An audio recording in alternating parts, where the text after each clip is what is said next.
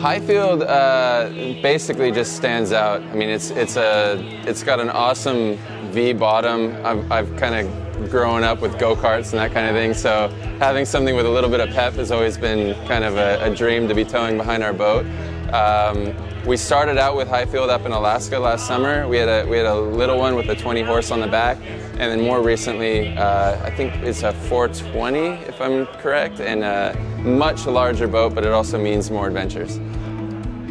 So we are basically, we call ourselves a floating production company. The Adventure Locker lives on board a sailboat and we explore amazing stories uh, uh, from the places that we anchor. And one of the reasons why we decided to go with a bigger boat is we use it as our production vehicle. Once we drop anchor, it kind of opens up so many doors. Uh, you know, we can we're not limited to just going to the beach, right? As a lot of smaller ones are. We can basically say, hey, there's something really cool three islands away, and we go for it. And uh, we kind of say sayonara to all the other boaters. there, there's a little bit of jealousy that goes on, which is also fun. You know, we'll go out for 10, 10 11 hours in a given day. Um, we're never actually charting on the map where we're going. A lot of the time it's just exploring. But uh, yeah, big days out with our camera equipment and, you know, limited crew.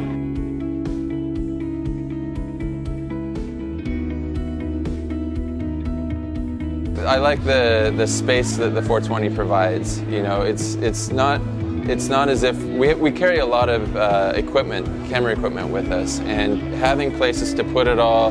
We know it's not going to be uh, up against the elements, you know, with water coming over the bow and that kind of thing. And just generally, you know, it's just a it's a comfortable boat. It goes fast. It looks good. What's not to love about it? One of the other things we really love is having the console. Having two hands essentially is really great for us as filmmakers. Um, having the, the helm there, one hand lightly on the wheel, just making sure we're getting the right direction, and then we can basically be filming or photographing from the boat. It's really nice.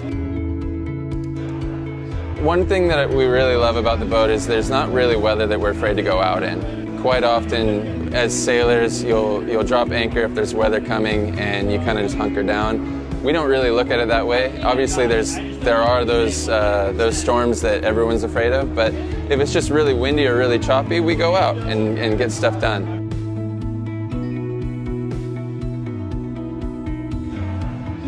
With the 420, we, we really enjoyed the Berry Islands, uh, especially this year being what it was. There, there wasn't a lot of activity going on, a lot, not a lot of boaters this year um, not a lot of people in general, and so going and exploring those uninhabited islands was fantastic, and uh, had a great time doing it.